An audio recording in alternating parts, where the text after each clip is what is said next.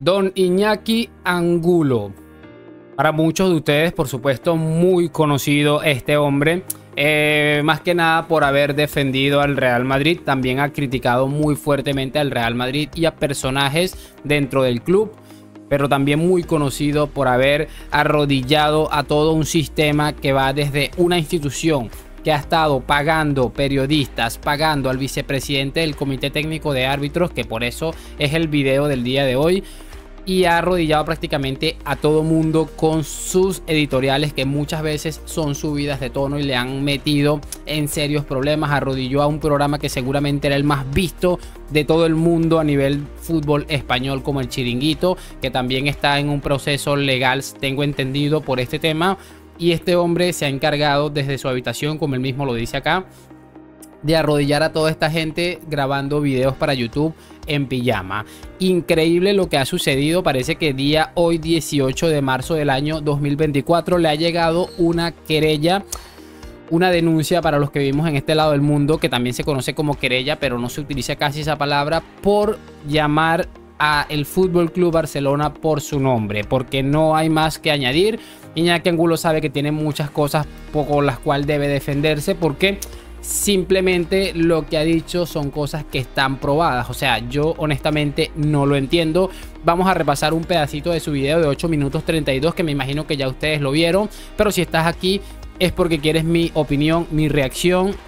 Y les voy a decir una cosa, hay que apoyar a este hombre en cada una de sus palabras, tenemos que estar totalmente de acuerdo con él, no porque sea santa palabra lo que diga, pero creo que va exactamente todo lo que pensamos y sobre todo porque estos sinvergüenzas, después de habernos visto la cara de idiotas con el tema de Negreira durante 20 años, de haber jugado con nuestra ilusión, de haber habernos hecho pasar ridículos históricos porque nos llamaron locos, conspiranoicos y nos llamaron de cuanta mierda se les ocurría mientras ellos estaban siendo beneficiados claramente. Y otra cosa, hemos tenido que aguantar tanta mierda que incluso hace un par de meses el señor Joan Laporta le llamó al Real Madrid equipo del régimen públicamente sin ningún tipo de pruebas porque le salió de las pelotas y porque sencillamente él sabe que es la única forma de mantener a toda esta turba que ahorita deben estar pegando saltos porque el Barça denunció a un youtuber.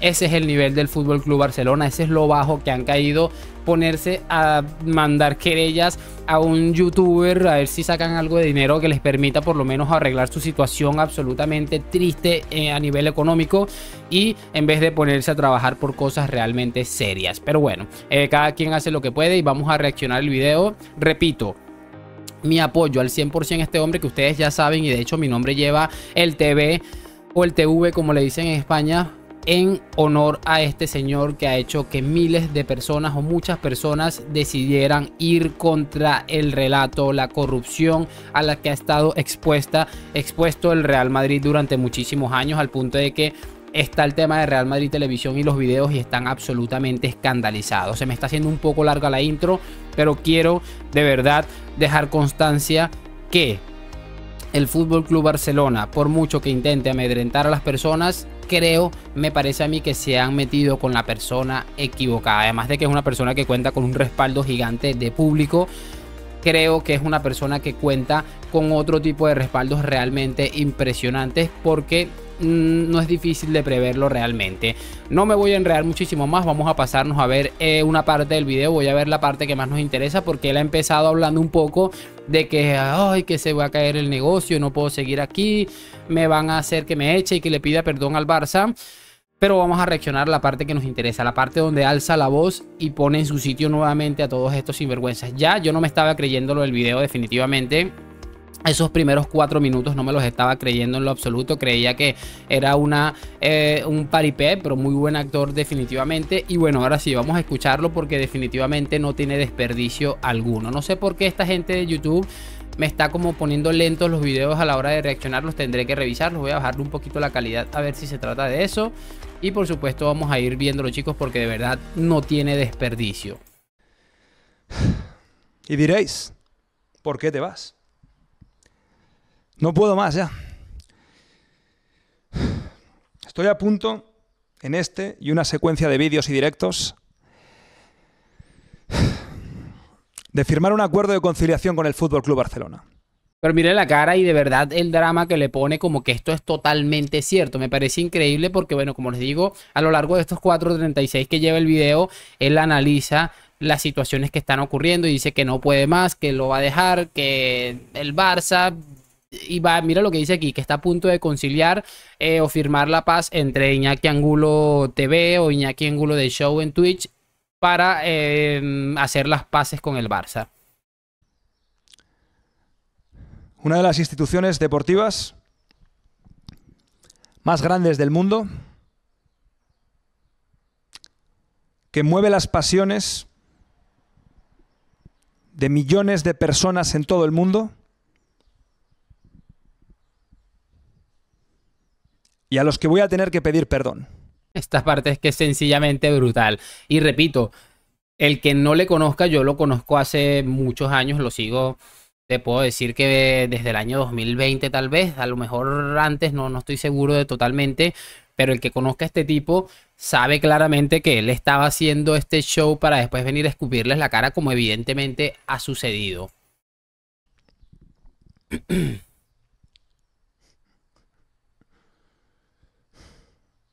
Desde que empecé en este negocio, os he hablado siempre de nunca tener un no por respuesta de no tener miedo al establishment, de no tener miedo a llamar corrupto al corrupto, de no tener miedo de llamar mafioso al mafioso.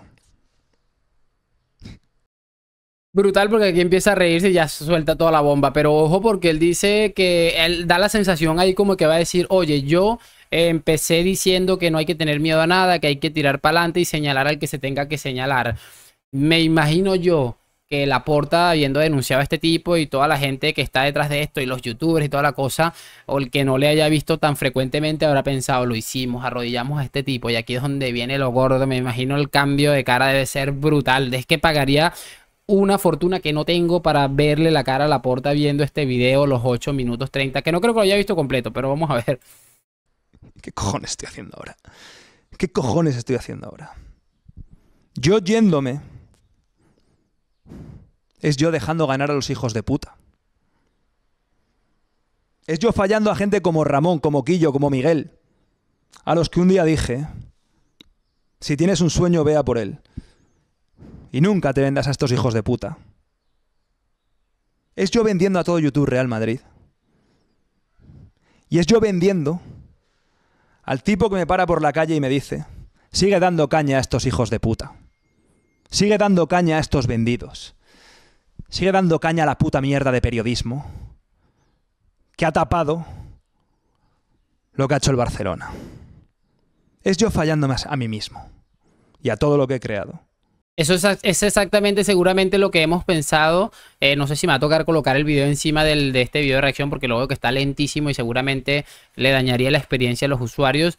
Pero es exactamente lo que hubiera pensado si se hubiera retractado. Estás, estás dañando tu imagen de seis años en YouTube eh, por un tema del que todos sabemos que el Barça no tiene ningún tipo de, de, opción de ganar. Yo no sé qué, en qué va a quedar esto, pero a mí me da la sensación de que el Barça está exponiéndose demasiado. Primero porque él le puede, ellos lo denuncian con ganas de que obviamente es el cabecilla de la banda, como ellos deben pensar, y si lo tratamos de amedrentar, a él, va en los escalones siguientes, la gente va a empezar a asustarse y va a reducir que nos estén llamando corruptos y que estén exponiendo nuestras sinvergüenzuras en las redes sociales, que es algo que está teniendo mucho alcance y es algo que los tiene sumamente preocupados. Creo que para mí eso es un punto clave y creo que es el destino final de esta crella. Si lo pierdan, yo creo que es lo que intentan hacer, tratar de reducir eso y que la gente tenga miedo. Ustedes ya más o menos saben cómo hace este tipo de cosas esta gente. Y a todo lo que ha pagado esta casa. Y a todo lo que me permite irme a dormir tranquilo. Ya, a ver, aquí viene el dos minutos, lo voy a dejar completo para que vean estos dos minutos de absoluta locura. ¿Qué cojones? ¿Qué cojones voy a pedir perdón? no me retracto. No me retracto. Laporta, Bartomeu, Rosell, Sois unos putos compra-árbitros. Sois unos putos corruptos y unos compra-árbitros. Y no lo digo yo, lo dice la fiscalía. Y vais a necesitar una querella cada mes. Vais a necesitar a todos vuestros Víctor Palacios, J. Jordis y Adrianes Sánchez a decir que me vais a demandar. Y vais a necesitar todos los sketches de la porta para que Iñaki Angulo YouTube Real Madrid se calle. No me retracto, no me retracto. Sois unos putos compra-árbitros. Sois una entidad deportiva corrupta, como está diciendo la fiscalía. Y como le dije al otro fantoche, vamos hasta el puto final. Va a faltar papel en el puto Amazonas para que me, me, sigáis mandando querellas. Porque yo no me callo. Compra árbitros. Corruptos. No me retracto. No me retracto. Y podréis ir a visitar a vuestros abuelos. Y sí, ¿sabéis qué les podré decir yo a mi abuela de la vez? Le diré, abuela, esos hijos de puta necesitan saber quién era el árbitro, hasta en la única final de Copa que ha jugado el Alavés. Pero siéntete orgullosa de lo que hiciste y del equipo que animaste. Cuando vayáis a donde vuestros abuelos les diréis, compramos a los putos árbitros durante 20 años y nos pillaron porque además somos unos tiesos de mierda que quisimos deducirnos el gasto en Hacienda. Así que a tomar por culo. No me retracto y espero que nadie en YouTube Real Madrid, que nadie ahí fuera lo haga nunca. Por mucho que estos intenten intimidar, por mucho que una institución de mil millones de presupuesto, o eso decían, vaya por un youtuber que hace vídeos en pijama. También tengo trajes, por cierto. Compra árbitros. No me puto retracto. No me puto retracto. A tomar por saco.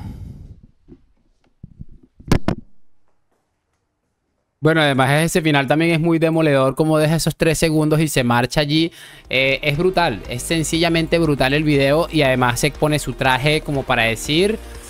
Voy a colocarlos en su sitio también. Creo que también es parte de mandar un mensaje de yo también sé con quién estoy hablando. Yo también tengo gente que me va a tirar aquí el, apoyo por, por hacer este tipo de cosas creo que está más preparado de lo que muchos de, estas, de estos personajes se imaginaron, al punto de que, bueno, estamos hablando de que una institución tan grande como el Fútbol Club Barcelona le ha puesto una denuncia y cualquier ser humano eh, con dos dedos de frente habría desistido de esta idea loca de hacerle frente a esta gente y este hombre todo lo contrario, sostuvo su opinión y creo que ha dado un paso más adelante porque él va a decir que no, él dijo que no se va a callar y creo que es brutal, es lo, menos, que, lo, menos que me esperaba él era esto, creo que no me ha sorprendido en lo absoluto, me ha gustado por supuesto, pero no me ha sorprendido en lo absoluto porque creo firmemente en que este hombre tiene muy claras todas las situaciones a las que se enfrenta y también creo que la tiene, lo tiene todo bastante controlado. De todos modos, como les digo,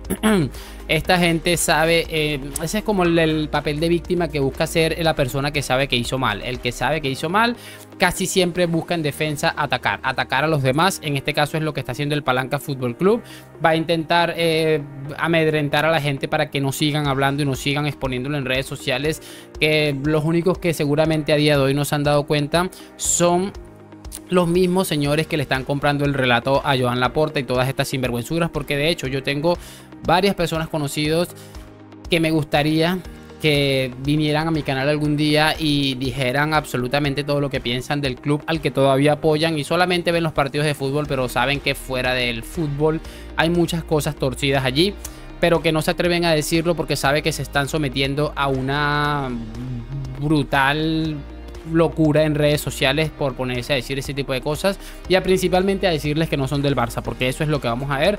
Pero bueno, brutal, no sé qué opinan ustedes. He disfrutado muchísimo de este video. Eh, creo que ha sido Iñaki Angulo en estado puro. Creo que les ha puesto en su sitio como seguramente se merecen y como seguramente no se esperaban, que creo que es lo que más me ha gustado. Que esta gente estaba esperando que Iñaki Angulo saliera a decir perdón y lo que les ha hecho es hundirlos más.